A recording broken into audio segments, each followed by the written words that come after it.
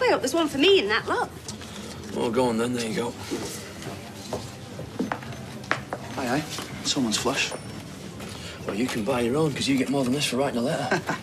I wish, mate. Business wants to be booming.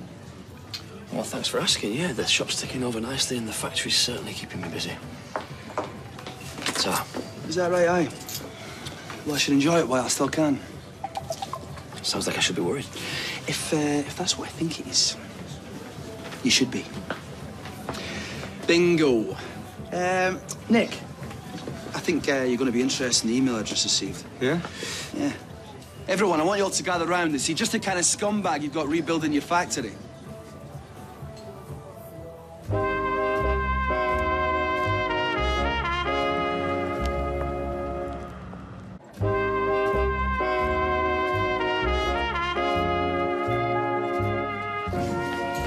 I thought you'd know better than this. Shouting your mouth off. It's libel. Slander, actually. Except in this case, it's not, because the proof's all here. yeah but proof of what? Our friend here beat Ryan to a pulp. Ryan got mugged. He said so himself. And why would he lie? Maybe because he's scared stiff of you, mate. And with good reason. I've had a private detective tailing you. Private detective. I knew he was up to his eyes in something. Like what? I've done nothing wrong. We'll see. Here goes.